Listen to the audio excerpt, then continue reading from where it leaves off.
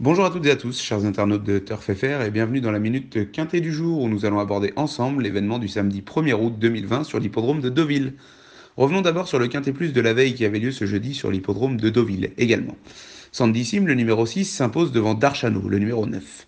Si Turf Sélection donne tiercé et quarté plus dans le désordre, déjà une belle performance, la palme revient ce jour à Top Prono qui indique le quarté plus dans le désordre de 559 euros et 26 centimes, mais surtout le tiercé ordre de 1577 euros et 40 centimes. Pas de miracle pour le quintet lors du concours de pronos gratuit, même si quelques performances très correctes sont à souligner.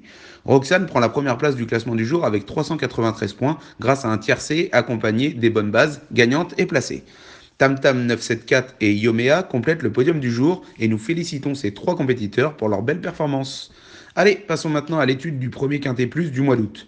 En ce samedi 1er, c'est avec le prix de la Villa Lucie, du côté de Deauville donc, que nous allons tenter de glaner quelques euros. Ils seront 16 galopeurs d'âge à prendre part à ce handicap divisé de première épreuve concouru sur les 1300 mètres de la piste en sable fibré. Une fois encore, les rapports dans l'ordre pourraient bien chanter.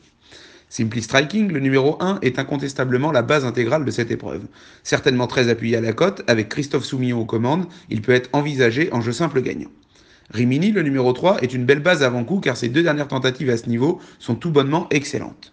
Charcalm, le numéro 4, qui apprécie tout particulièrement la piste en sable fibré et qui est supplémenté pour l'occasion, aura logiquement des fans, c'est une certitude, surtout à la cote qui sera la sienne. Morsan, le numéro 6, débute au niveau handicap et effectue une rentrée, mais nous connaissons le sérieux de Didier Guillemin pour l'avoir amené au top niveau d'emblée. On the Sea, le numéro 14, qui aime le sable de Deauville, peut réaliser un numéro s'il est planqué dans le dos des premiers durant le parcours. Bako El Kofi, le numéro 5, dont les qualités de vitesse sont certaines, aura des ambitions pour les 5 premières places. Sinon partant il venait à y avoir, Moutrafort, le numéro 13, avec l'aide de Pierre-Charles Boudot, pourrait lui aussi introduire notre pronostic en 6 chevaux. Si vous avez aimé cette vidéo les amis, partagez-la, lâchez un gros pouce bleu, commentez et abonnez-vous en activant la petite cloche pour être averti des prochaines vidéos. En attendant, bon quintet plus à tous et nous vous disons à demain pour une nouvelle Minute Quintet.